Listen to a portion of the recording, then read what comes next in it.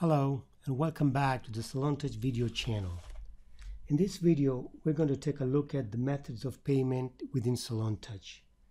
SalonTouch allows you to select a wide variety of payment methods from cash to credit cards to gift certificate, coupons, and much more. Let's take a look at some of these methods. Obviously, I mentioned cash by default, SalonTouch accepts cash. All the other methods of payment have to be set up.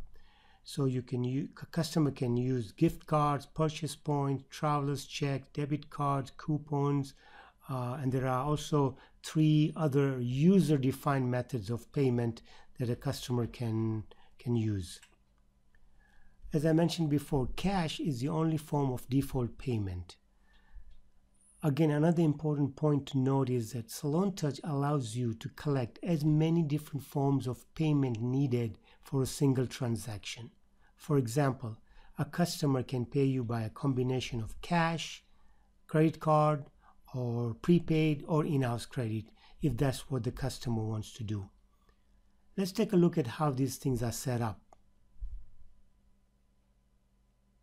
As usual, we go to Setup and click on the register button on the left side. This brings us to the first tab called payment keys. It is right here in the, in the first tab where you will check mark all the different methods of payments that you wish to collect in the salon. If, for example, you do not accept Discovery card in your uh, salon, then check mark no and save. If you accept coupons and gift cards, check mark yes, yes, and save. Uh, that's about it. That's all there is to setting up payment methods in SalonTouch.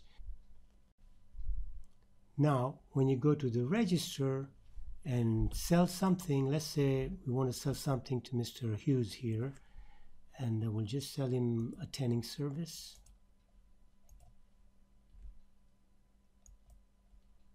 Now we can see all the different methods of payment that the customer can use to pay for the transactions.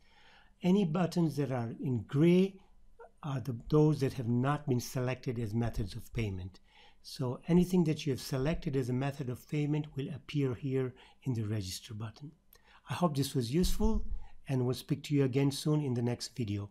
Thank you.